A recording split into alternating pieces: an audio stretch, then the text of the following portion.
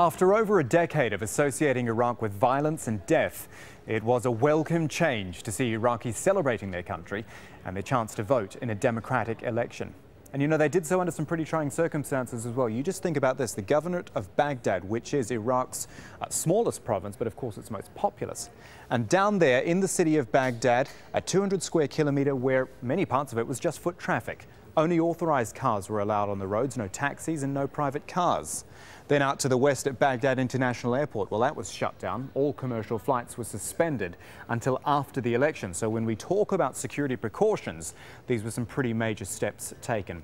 But when people got to the polling stations, this became the inevitable image, the sight of people holding their fingers in the air, their purple fingers, the finger dipped in purple ink to say, yes, I have voted. And perhaps more importantly, when we're talking about an accurate election, no, I actually can't vote again.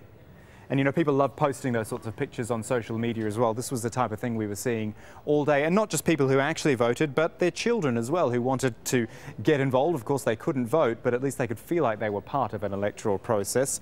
Others well, I was going to say wore their hearts on their sleeve, but this is a shirt there with an Iraqi flag and a heart shape around it. And then this last picture, which, well, I really liked this one actually, the sight of an Iraqi Special Forces member helping a woman in her wheelchair in Baghdad's Sadr city to get to the polling station. And the important thing to remember with an image like that is all this security was Iraqi. Elections were held without US forces on the ground for the first time since Saddam's fall. And you know, it's perhaps a reflection of how much has changed in that time that this election barely made headlines in the United States.